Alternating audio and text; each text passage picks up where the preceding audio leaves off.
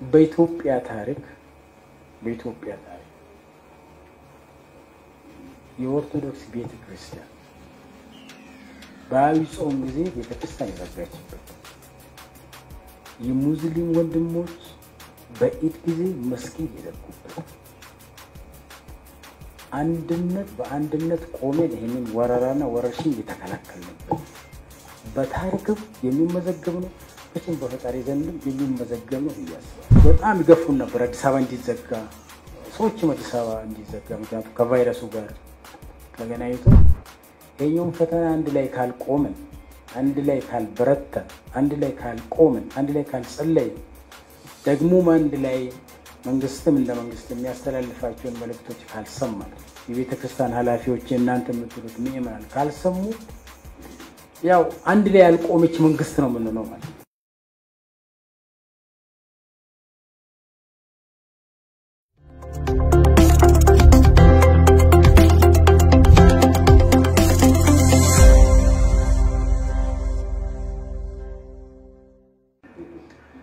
አባቶች በጣም እናመሰግናለን። እግዚአብሔር አምላካችን ፈጣሪያችን ይስጥልን። እኔ እውነቱን ለመናገር ዛሬ ጠዋት ጉብኝቱን ከመዘጋጃ ብንጀምር ኖሮ በጣም ጥሩ ነበረ፣ ከዋናው መዘጋጃ ግን ሶስት ቪዲዮዎችን አላያችሁም። አንደኛው የመዘጋጃ የሸገር እና የእንጦጦ ሶስቱም ወደ ማለቂያ ላይ ስላሉ ያለቀውን ነገር እናሳያቸዋለን ብለን መዘጋጃ ብታዩ መልካም የሚሆነው መልካምም መጥፎ መነሻው ከዛ ስለሚሆን ማለት ነው። የክቡር ጠቅላይ ሚኒስትር የአንድነት ፓርክ አጠቃላይ የእሳቸው ቢሮ መልካሙም መጥፎ መነሻው ከዛ ነው እንደ መንግስት ስናስብ ማለት ነው እና ስንጨርስ ሶስቱንም በእርግጥ እርግጠኛ ነኝ የሸገር የእንጦጦና የመዘጋጃ በሁለት ወር ውስጥ እንጨርሳለን። የሚቀጥለው አዲሱ ዓመታችን አዲስ ፕሮጀክት ስለምንጀምር ማለት ነው።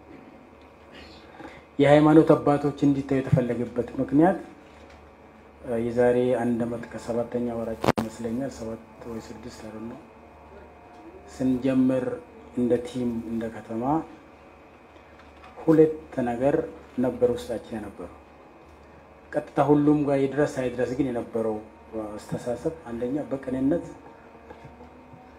ማገልገል ነው። number one በቅንነት ማገልገል ማለት ሀገራችን ከተማችን የሃይማኖቶች ብዝሃነት ያለበት ከተማ ነው። የብሔሮች ብዝሃነት ያለበት ከተማ ነው። በኢኮኖሚም ደግሞ በዛው ደረጃ diversified የሆነ society ስለሆነ ያንን ሁሉ አቅማችን በቻለ መጠን በቅንነት ማገልገል ነው የኛ ዓላማ። ተልኳችንም እሱ ነው። ነገም እሱ ይቀጥላል ብዬ አስባለሁ። ይሄኛውን ቅንነት ደግሞ ሰው ዝም ብሎ ስለፈለገ ደግሞ አያመጣው። ሊያመጣ የሚችለው ፈጣሪ እግዚአብሔር ካልሰጠው ቅን ነኝ ብሎ ቅን መሆን አይቻልም ማለት ነው እና ስለዚህ በዚህ ከተማ ላይ የምንሰራቸው ስራዎች ሁሉ ያለፉትም ሆን ከዚህ በኋላ የምሰራቸው ስራዎች ሁለንትናዊ እድገት የማያመጡ ከሆነ በጣም አስቸጋሪ ይሆናሉ የሚል እምነት አለን። ኢኮኖሚያዊ ለውጥ ካልመጣበት፣ ማህበራዊ ለውጥ ካልመጣበት፣ ከሁሉም በላይ ደግሞ የሰው ልጅ መንፈሱ ካረካ ዝም ብለን ህንፃዎችን ብንገነባን ህንፃ ውስጥ ዝም ብሎ አይነት ከሆነ ጥሩ አይመጣም። ስለዚህ የሃይማኖት አባቶች ለእያንዳንዱ ቀን ከዚህ በፊትም አባቶች ሲጸልዩለት ለነበረው ነገር አዲስ አበባ ከተማን በዚህ ደረጃ ማምጣት የፈጣሪም የእግዚአብሔርም እጅ ነው ብዬ አስባለሁ፣ ደግሞ አምናለሁ። ለዚህ ነው በቅንነት ነው የምንሰራ ያልኳቸው።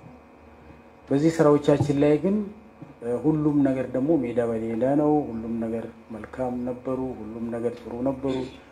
መንገዶቹ በጣም smooth ነበሩ ማለት አልችልም፣ ስለምታይ ስለምሰማ ማለት እኛ ግን እሱም part አልሰማንም። የሰማነው ውስጣችን ቅንነታችን ለህዝብ የምንሰራው ስራ ነገ ያሸነፈ ስለሚሄድ እሱም መስራት ነው። እሱ ይቀጥላል ብዬ አስባለሁ። ሁለተኛ ሁለተኛ ቃል ሁላችን ውስጥ ያለው ተነስተን እንሰራለን የምል ሁላችን ውስጥ ያለ ተነስቶ መስራት እንግዲህ መንፈሳዊ ነው አይደለም። ተነስቶ መስራትን የመሰለ ነገር የለም። ምንም ቢሆን ፊት ለፊት ያለው ምንም ይሁን ተግዳሮቱ ምንም ያለው ነገር ተነስቶ መስራትን ተነስቶ ማከናወን የሚያክል ነገር የለም እና የሃይማኖት አባቶች እነዚህ የሰራናቸውን ፕሮጀክቶች እና እየሰራን ያለነውን ፕሮጀክቶች ካዩ በአንድ በኩል እንደ ሰው እንደ ነዋሪ ይደሰታሉ እንደ ሰው፣ በሁለተኛ በኩል ደግሞ ከፈጣሪዎቻቸው ጋር ሲገናኙም እንግዲህ በራሳቸው ላይ ነው ማለት ነው። ምክንያቱም እንደዚህ አይነት ከተማ ብዝሃነት ባለበት ከተማ ሁሉ ውስብስብ በሆነበት ከተማ የሰው ልጅ ብቻ ጠንካራ ስለሆነ ጎበዝ ስለሆነ ነው የሚችለው የሚባል ነገር ብዙም ስለማይሆን የፈጣሪ እርዳታ እንደሚያስፈልግ የሰው እርዳታ እንደሚያስፈልግ ለዛ ነው ለዛሬ ፕሮጀክቶቻችን ያሳየናቸው። ቀጣይም የምንሰራቸው እናሳያቸዋለን። እውነቱን ለመናገር አዲስ አበባ ከተማ ውስጥ አሁን ያያችሁት ፕሮጀክት አባይን በጭልፋ ነው፣ ትንሹን ነው በጣም ብዙ ፕሮጀክቶች አሉ። አንድ ጊዜ እግዚአብሔር ፈጣሪያችን ከፈቀደ አንድ ጊዜ ያሳያቸዋለሁ። አዲስ አበባ ውስጥ የምንሰራቸው መንገዶች አዲስ አበባ ከተማ ውስጥ የሚሰራ መንገድ አይመስልም። በአባይ በረሃ ውስጥ የሚሰራ መንገድ ነው ይመስል። ስለዚህ የመንገድም የውሃም እንደዚህ የምንሰራቸው common goods የሚባሉ ስራዎች ዘመን ተሻጋሪ ናቸው። በ engineering ሁሉንም ነገር ከውጭ ማምጣት አልፈለግም። ለምሳሌ ዲዛይነሮቹ አዲስ አበባ ዩኒቨርሲቲዎች ናቸው። የ art ስራዎችን የሚሰሩት የአዲስ አበባ ዩኒቨርሲቲዎች ናቸው። ለምን እንደዛ የምናደርገው? ከዚህ በኋላ ኢትዮጵያ የሚባለው ሀገር የተሻለ ሀገር የተሻለ ትውልድ መገንባት ስላለብን ባለን ነገር ነው መረባረብ ያለብን እንጂ ሁል ጊዜ ሁሉም ነገር ከውጭ አስገብተን አንችልም። ስለዚህ አዲስ አበባ ዩኒቨርሲቲን እንደ አንድ hub እንደ አንድ ትልቅ ተቋም ነው የምንጠቀመው አዲስ አበባ ላይ። ለዚህ ነው existing institution ስለ አዲስ አበባ ዩኒቨርሲቲ ከተማ ውስጥ ያለ institution የከተማው ሀብት ማንም ያስተዳድረው ማንም ያስተዳድረው ከተማ ውስጥ ያለው የሃይማኖት ተቋማት የከተማ ሀብት ናቸው። ሁሉም ከተማ ውስጥ ያለውን እንደ የከተማው ሀብት ስለምናስብ አዲስ አበባ ዩኒቨርሲቲ በምንሰራቸው ፕሮጀክቶች ሁሉ የራሱ ሚና እንዲኖረው፣ ሃይማኖት ተቋማት የራሳቸው ሚና እንዲኖራቸው የምናደርግበት ዋናው ምክንያት ይሄ ሀገር የጋራ ነው፣ ከተማውም የጋራ ብለን ስለምናስብ ማለት ነው። ይሄኛውን ህንፃውና የአማሩ ከተሞችን እና ዲዛይኖችን መስራት ብቻ ሳይሆን ይሄኛውን ህንፃና የሰራናቸውን እነዚህ ስራዎች ነገ የሚጠቀሙት ህፃናት ናቸው። አሁን እየመገብናቸው ያለው ከታች ማለት እነሱ ሲያድጉ እንደኛ ላስቡ ይችላል። እኛ አሁን ያለን ሰዎች በሃይማኖት፣ በዘር፣ በቋንቋ ብንከፋፈልም እነሱ ግን ከታች ሀገራቸው ያደረግላቻቸውን እያሰቡ ይመጣል። የሚማሩበት ትምህርት ቤት ጠዋት ምሳ፣ ጠዋት ቁርስ፣ ቀን ምሳ፣ የተሻለ ትምህርት ቤት እየተማሩ ከሆነ የሚያስቡት ሀገራቸው ባላት አቅም ይሄን ነገር በእነሱ ላይ ኢንቨስት ካደረገች የሚቀጥለው ሀገራቸው ከዚህ የተሻለ እንደሚሆን ይገባቸዋል። ትምህርት ቤት ላይ የሚገባ ፕሮግራም የጀመርንበት ዋናው ምክንያት የምንፈልጋትን ሀገር የምንፈልገውን ትውልድ የመገንባት መነሻው ትምህርት ቤት ነው ብለን እናስባለን። እንደዛ አስባለን። እኔም የተቀረጽኩበት የተሞረድኩበት አንዱ ማዕከል institution ትምህርት ቤት ቤተሰቦቼ የራሳቸው የማይተካ ሚና አላቸው። ቤተ ክርስቲያን የራሱ ሚና አለ። ትምህርት ቤት ደግሞ ሌላ ሚና እነዚህ ተደምሮ መንግስት እንደ መንግስት እነዚህ ተደምሮ ናቸው ሀገር የሀገር ግንባታ የሚባለውና ትምህርት ቤት ላይ ምገባ የጀመርንበትም ዋናው ምክንያት ሀብታም ድሃ ሳንል ማለት ሀገር ለትውልድ ማድረግ ያለበት አንዱ ስለሆነ ይሄኛውን ስራ አዲስ አበባ ከተማ ብቻ እንዳይሆን እንፈልጋለን። እውነቱ ነው የተነሳው ሀሳብ ግን ቀስ ብለን እንሄዳለን። ለምሳሌ አዲስ አበባና በአዲስ አበባ ዙሪያ ጀምረናል። ብዙ ዲቴል ለዚህ መረጃ ላልሰጣችሁ ይችላል፣ ምክንያቱም እያለቀ ስለሆነ ፕሬዚዳንቱ ባለበት መግለጫ ስለምንሰጥ። ግን ዋናው ያነሳችሁት ሀሳብ አለ በየትኛው አንድ ላይ ሆነ። ምክንያቱም አንድ ላይ ካላደግን በዚህ ሀገር በፍትሃዊ እኩልነት ላይ የተመሰረተ እድገት ካልመጣ በዚህ ሀገር አንዱ አድጎ አንዱ ካላደገ ሚዛናዊ አይሆን። ይሄ ይህ በፈጣሪም በእግዚአብሔር ዘንድም ትክክልም አይደለም፣ በምድራዊ ሕግም ትክክል አይደለም። አዲስ አበባ ከተማ ያለው ወጣት የተሻለ ትምህርት ቤት እየተማረ የተሻለ አስተማሪ እያገኘ እየተማረ የተሻለ ትምህርት ቤት ውስጥ እያለ በአዲስ አበባ ዙሪያ ያሉ ወረዳዎች እና ከተሞች ላይ ያሉ ልጆች በማይገባ ትምህርት ቤት እና በማይገባ ነገር የሚማሩ ከሆነ ተደምሮ ግን ሀገር ይገነባሉ። ስለዚህ በአንድ አስተሳሰብ እንዲመጡ እንፈልጋለን። እሱን እየሰራን እንገኛለን። በተነሱት ፕሮጀክቶች ላይ ፕሮጀክቶቻችን በዚህ ዓመቱ ነው የጀመርናቸው ታውቃላችሁ። ብዙዎቹም በዚህ ዓመት እንጨርሳለን ታውቃላችሁ። ዋናው እንዲፋጠኑ ያደረግንበት ከዚህ በፊት ስንሰራበት የነበረው የ project management style ኣችን የቀየር። አንደኛው ከዚህ በፊት አይታችሁ ከሆነ ዲዛይን ይሰራል። ዲዛይኑ ላይ በትንሹ ስድስት ወር አንድ ዓመት ይፈጃል ጊዜ ተወስዶ። አሁን ግን ያሰብነው design ኡንም construction ኡም ለአንድ company ነው። ስለዚህ ሁል ጊዜ አሁን የ library ውን አይታችሁ ከሆነ library አንድ ጊዜ የሚያነብ ሰው ቁጥሩ ያነሳው የዲጂታሉን ስትጨምሩ ቁጥሩ በጣም ብዙ ነው የሚሄደው compound ኡ ሲጨምር። ግን ዲዛይኑ አሁንም አላለቀም። ዲዛይኑ አለቀ የሚባለው library ው አገልግሎት መስጠት ሲጀምር ነው። የሸገር ፕሮጀክትን አይታችሁ ከሆነ ከሁለት ወር በኋላ ለምሳሌ ብንጨርስ አያልቅም። ቀጣይ ስራዎች አሉት። ምክንያቱም አያልቁም። እንደዚህ አይነት ስራዎች በጣም ግዙፍ ስለሆኑ ዘመን ተሻጋሪ ስለሆኑ በእያንዳንዱ ጊዜ ሀሳብ ያለ ሰው የተሻለ ሀሳብ አለኝ ካል ይጨምርበታል። ተጨማሪ ይሆናል። እየተገነባ እየተገነባ ይሄዳል። የመስቀል አደባባይ እንደዛው፣ የአድዋም እንደዛው። ሁሉም በእኛ አስተሳሰብ አለቀ የሚባል ሀሳብ የለም። በቃ የሚባል ሀሳብ የለም። ሀሳብ የሰው ልጅ የሀሳብ የመጨረሻ ውስንነት የለውም።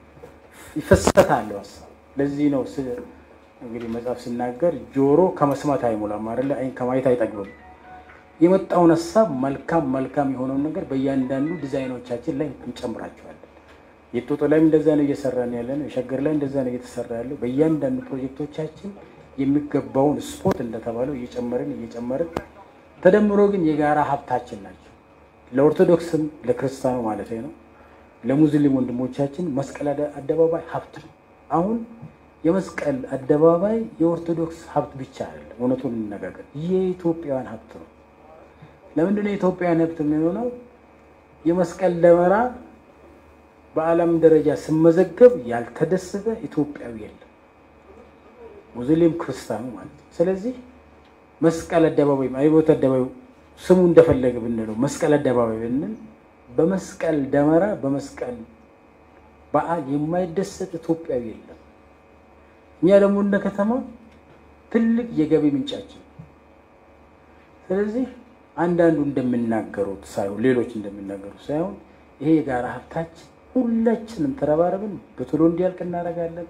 ለሚቀጥለው የመስቀል ደመራ እዛው ነው የምናከብሩ፣ ሌላ ቦታ እንድም። ለዚህም ደግሞ ጸሎትም ያስፈልጋል። ነገሮች በስርዓትና በሕግ እንዲሄዱ የመጨረሻው እንደዚህ ትላልቅ ፕሮጀክቶች እውነቱን ለመናገር አንድ ሰው ተናግሯል። ብሩን ከየት አመጣችሁ የሚል ነገር እውነት ነው። እኔ ራሴ የሚመራሱ አንዳንዴ ነው ይገርመኛል። አዲስ አበባ ከተማ በራሱ ገቢ የሚተዳደር ከተማ ነው። ከቴክስ ፔየር ነው የምንሰበስበው ከእያንዳንዱ ከጉሊት ነጋዴ እና እስከ ላይ ካለው ሀብታ መሰብሰብ ያለብን ሰብስበናል ብዬ ሳይሆን ግን የምንሰበስበውን properly ነው የምንጠቀምበት። ሁለተኛ በዚህ ሰዓት ፈታኝ ወቅት ነው። አዲስ አበባና ኢትዮጵያ የመሰልን ትንሽ ገና እየበረታን እያደግን ያለ ነገር ተውና ትላልቅ ሀገሮች ሁሉ ነገራቸውን ዘግተው እኔም ሚዲያዎች በጣም ይገፉን ነበር አዲስ አበባ እንዲዘጋ ሰዎችም አዲስ አበባ እንዲዘጋ ምክንያቱም ከቫይረሱ ጋር ተገናኝቶ ክልሎችም ቀደም ብሎ ከኛ በፊት ዘግቷል። አይታችኋል።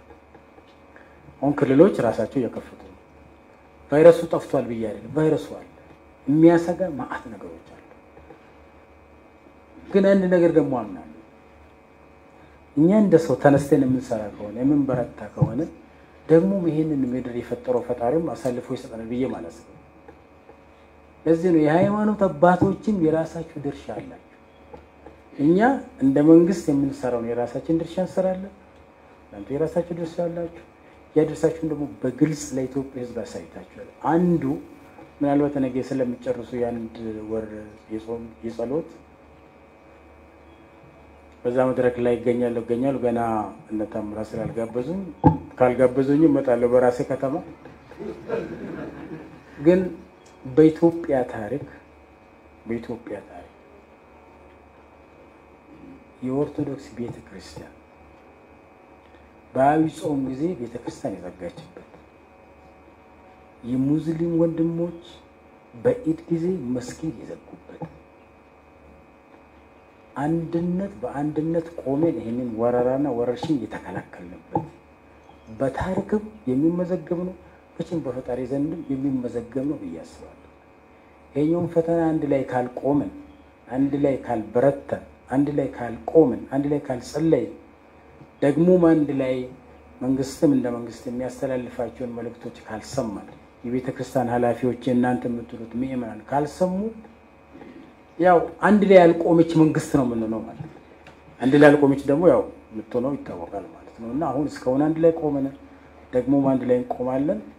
እግዚአብሔር ሀገራችንን፣ ከተማችንን፣ ህዝባችን ይባርክ። እኔም ደግሞ አመሰግናቸዋለሁ። እግዚአብሔር ይስጥልን።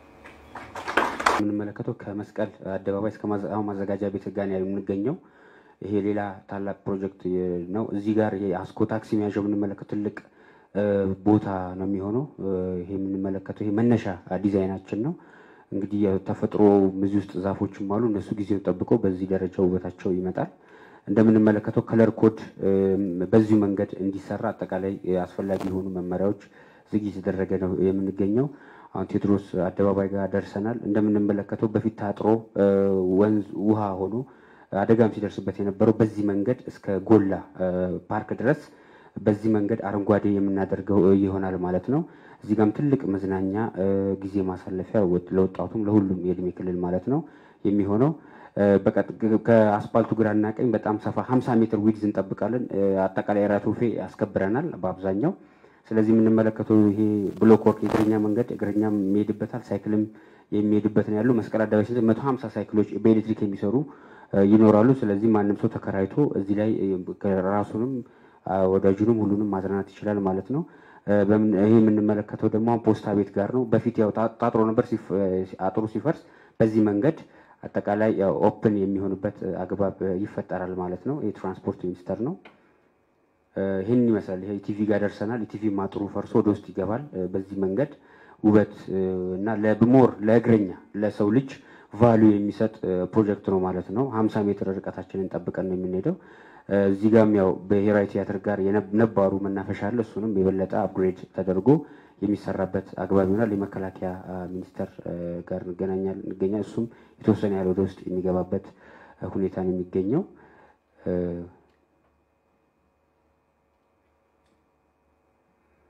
already አሁን ጨርሰናል። አሁን ወደ መስቀል አደባባይ ከለጋሃር እየሄድን እንገኛለን። በዚህ መንገድ color code ኦቹንም ቅድም እንዳልኳቸው ጠብቀን ነው የምንሄደው። ወደ መስቀል አደባባይ ደርሰናል። እጅግ በጣም በሚያምር መንገድ ይሄ demountable bus stop ኦቹ at a time ተነቃቃይ ነው። ፕሮግራም ሲኖር እነዚህ bus stop ኡ የሚያርፍበትና ከላይ shade ኦቹ ይነቃቀሉና ይቀመጣሉ። ፕሮግራሙ ካለቀ በኋላ መልሰው የሚተከሉ ይሆናሉ ማለት ነው። እዚህ ጋር 1400 መኪና ያቆማል። አጠቃላይ 78000 ሜትር square ነው ቦታው። ስለዚህ ይሄንን እነዚህም ዛፍ ማስቀመጫዎች ናቸው፣ ተንቀሳቃሽ ናቸው ማለት ፕሮግራም ሲኖሩ አንድ ቦታ ይሰበሰባሉ። ከዛ ውጭ ግን ያው እንደምትመለከቱት መስቀል አደባባይ መናኸሪያ ህግ በሌሎች ባሶች ሌሎች የሚጠቀሙበት ነበር። አሁን ግን ደረጃውን በጠበቀ መንገድ ቅድም ያልኳችሁ እዛ በታላቁ ቤተ መንግስት መኪና ማቆም የሚቋቋሙ ተቋም ይህንንም አብሮ የሚቆጣጠርበት ነው የሚሆነው። ይህ እንደምንመለከተው አሁን ወደ ውስጥ ውሃ አይገባም እዚህ አካባቢ ላይ እና perforated ናቸው። ውሃ ወደ ውስጥ ይገባል። ስለዚህ የተፈጥሮ ከርሰ ምድር ውሃ ያስፈልጓል አካባቢው እና ተፈጥሮንም ማመጣጠን ስላለብን እዚህ ላይ አበቦች፣ shrubs አሉ። ስለዚህ እነሱንም ባማከለ መንገድ ነው። ስድስት screen ኦች ስድስት በአስር የሆኑ ግዙፍ ስድስት screen ኦች እዚህ ላይ ይተከላሉ።